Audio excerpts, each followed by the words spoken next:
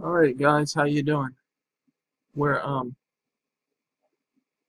playing Microsoft Flight Simulator Steam Edition and we got this thing modded out. We're in the San Francisco Bay and we are playing an airship. I'm always fascinated by these things ever since I was a kid until now.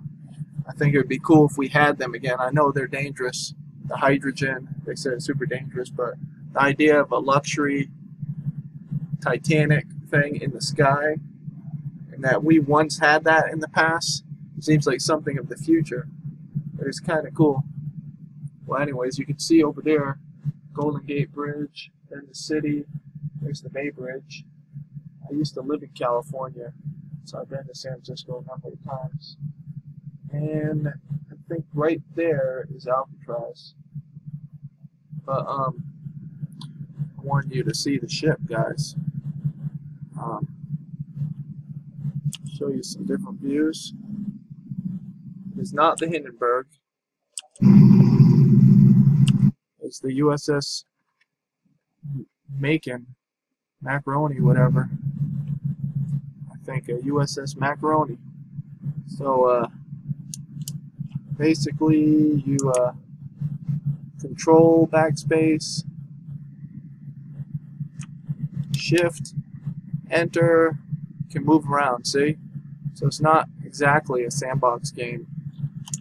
Microsoft Flight Simulator was not designed basically to not designed to uh, leave the cockpit. But there are keys you can move around. And it's kind of like you're walking around a little on this ship thing here. So um, the frames per second have slowed down since I'm using the screencaster. Um, I'm still like, I still have a hard time figuring out all the keys and stuff, you know. So I just want to get to the front of the ship. This thing is like very detailed. It's a World War II era, I guess. But it'd be cool if they still had these things. I know they have like Goodyear blimp, and it's not the same. Isn't that cool? You can see the Golden Gate Bridge in the city from up here. Thing is very slow. But what do you need to be in a hurry for everything? Take it easy, you know? It can be a such a hurry to get nowhere fast.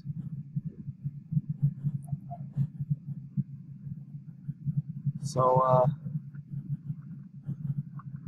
I don't think I'm going to show you much more because this ship is like really slow, but I really like airships. What that thing is. It looks like a cell phone.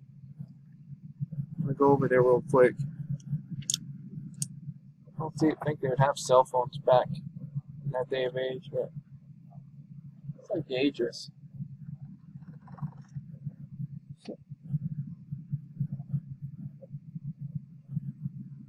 So anyways, guys, uh, thanks for watching.